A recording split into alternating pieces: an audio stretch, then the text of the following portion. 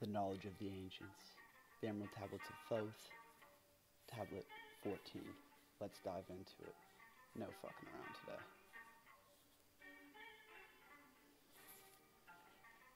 This is a great uh, addition to the video I made on Hermeticism and the bondage of man, because Tablet 14 goes through all of it.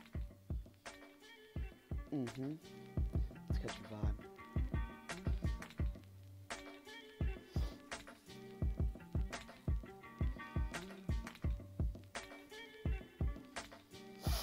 Okay. Gonna catch a vibe. Study them Gnostics. Yeah, looking for truth when I came across this. uh, uh. List ye, O man, to the deep hidden wisdom. Lost the world since the time of the dwellers, lost and forgotten by men of this age. Know ye, earth is a portal, guarded by powers unknown to man, yet the dark lords hide the, en- the entrance. Ooh, that's kind of strange. That leads to the heaven born land, the space born race. Know ye, the way to the sphere of Arula is guarded by barriers open only to light born man. Upon earth, I am the holder of the keys to the gates of the sacred land. Command I, by the powers beyond me, to leave the keys to the world of men. Before I depart, I give ye secrets of how ye may rise from the bondage of darkness, and cast off the fetters of flesh that have bound ye, and rise from the darkness into the light. Fetters of flesh that have bound thee, bondage of darkness. As I said, the most uh, the, one of the most major themes in the Emerald Tablets is describing the war between dark and light, the bondage of man, and the fetters of darkness. Man, the most hopeless form of slave, the most hopeless slave is the one doesn't realize he's a slave. And that most hopeless war to fight is the one you are unaware of. Know ye, the soul must be cleansed of its darkness, and ye may enter the portals of light. Thus I establish among ye the mysteries, so that the secrets may always be found. Seek, forever seek, my friends. A. Though man may fall into darkness, always the light will shine as a guide, hidden in darkness, veiled in symbols, always the way to the portal will be found.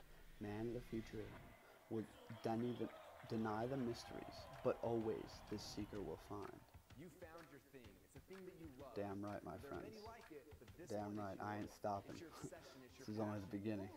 You read books, you I have so much to unveil to everybody because. I've been linking up the Emerald Tablets to the Egyptian Book of the. Dead and actually breaking down the the symbolism and I've been. I, I've had to learn Egyptian, but the symbolism I don't think many many translators are getting it because it's so esoteric and occulted. But um, getting back to the Emerald Tablets before we unveil everything, that's going to be like a 20 it hour blueprint. But ah,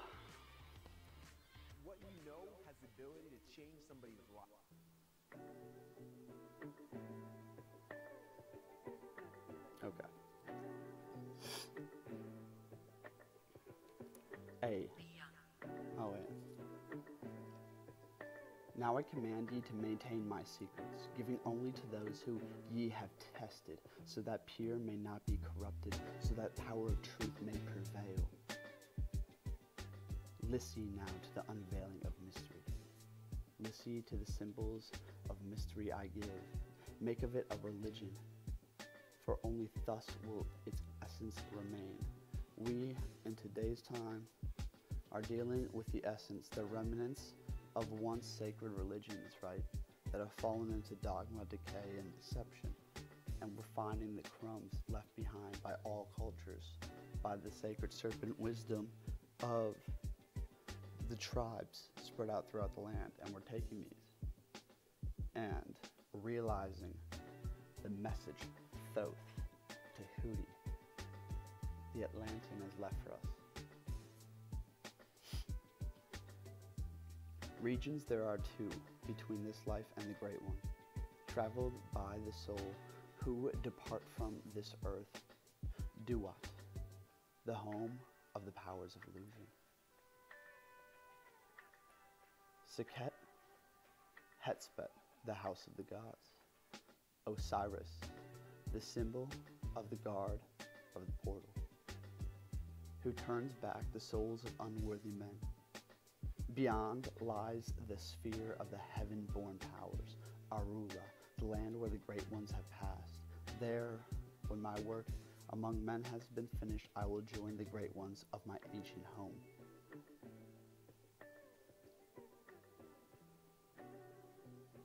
Seven are the mansions of the house of the mighty. Three guards the portal of each house from darkness.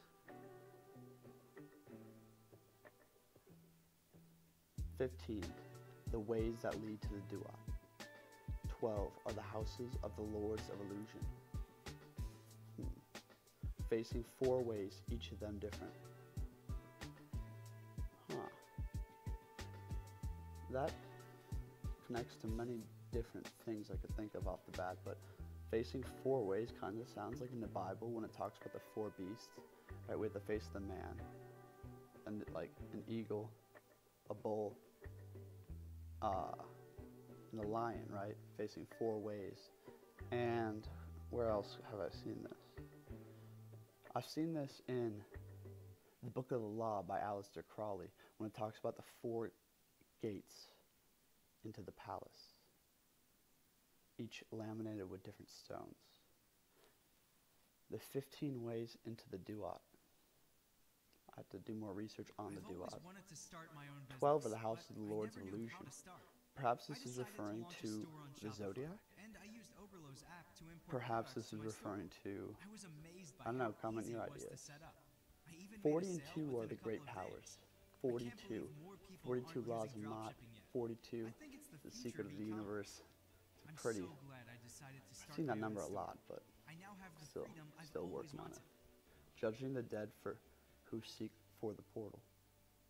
Four are the sons of Horus. Sons of Horus being the four horsemen. Four are the sons of Horus being the four messiahs prophesied in true Kabbalistic, like Jewish Kabbalah. Four are the sons of Horus being the leaders of the four tribes of Israel the north, the west, the east, and the south, and the four races of man in the holy prophecy.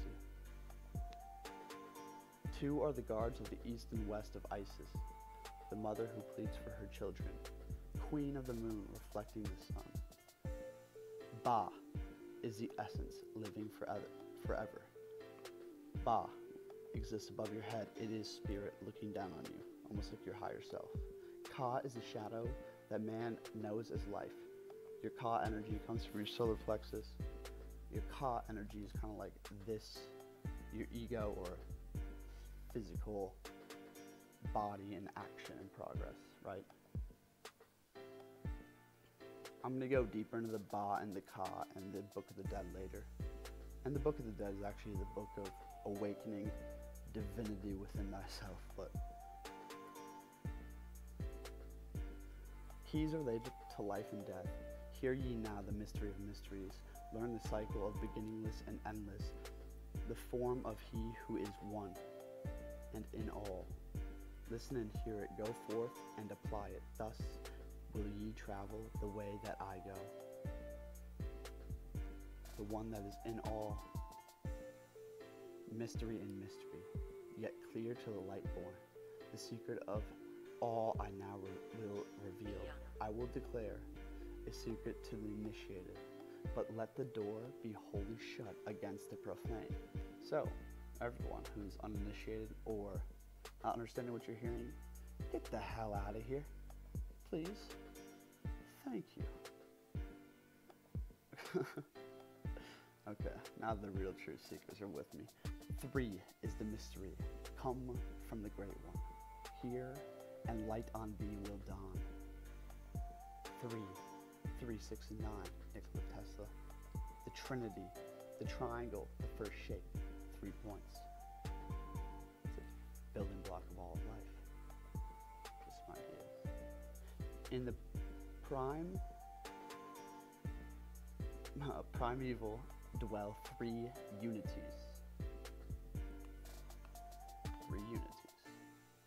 Other than these, none can exist. These are the equilibrium, source of creation, one God, one truth, one point of freedom. Ooh. Perhaps one God, one truth, one point of freedom. I don't know. Three come forth from three, the three of the balance.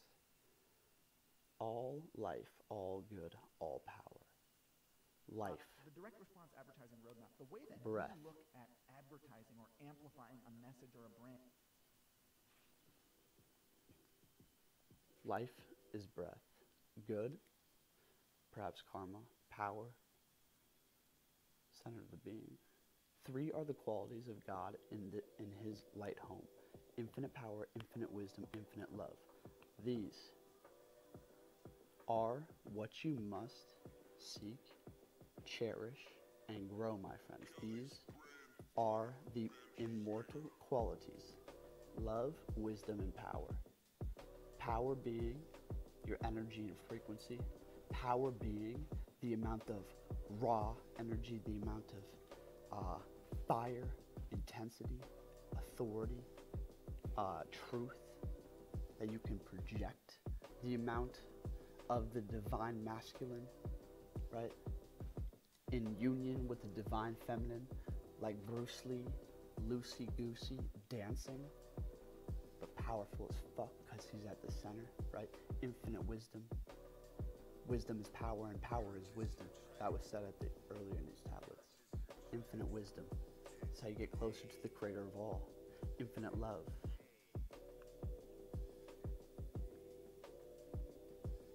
Also, which what is funny right here is our soul, right, has three portals. Our soul is threefold in nature, right? The sacral chakra brings the unmanifest into the manifest physical realm. The heart chakra brings. Oh, shit, I that wrong. The heart chakra, basically, the ethereal chakra is the third eye, right? Intelligence, insight.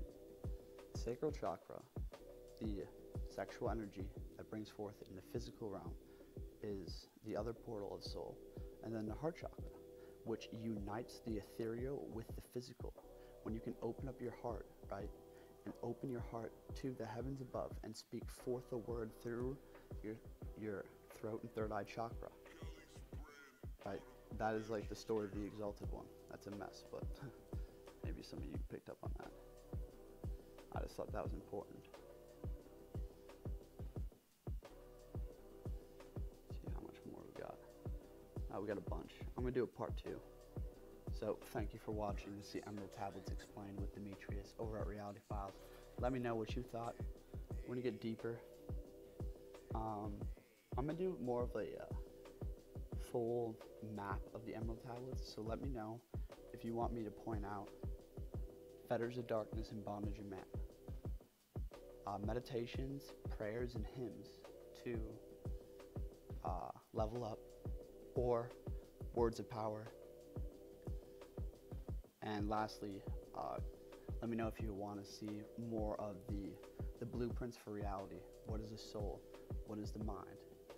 What is earth and the heavens? How do we get here? The creation story. There's all the keys in here. And we can look into it together and I will do some background research and get my thoughts together and make a blueprint on each one of these. So anyway, thank you for watching. I'll see you at the next part two.